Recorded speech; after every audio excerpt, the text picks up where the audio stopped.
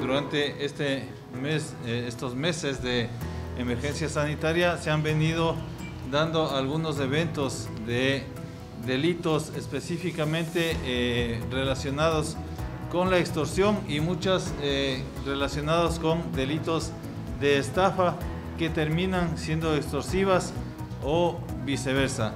La extorsión vehicular en, Santo Domingo de los Sáchilas se realizó la detención de José B. de 30 años de edad, Luis L. de 27 años, Jaime P. de 31 años.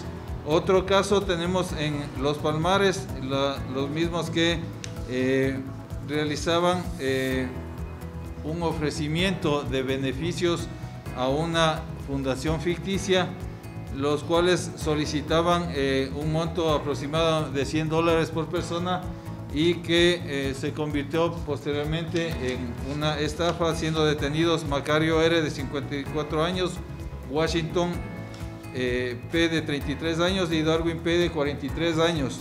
Realizamos algunas intervenciones en centros de rehabilitación desde donde también se han generado algunas llamadas telefónicas extorsivas.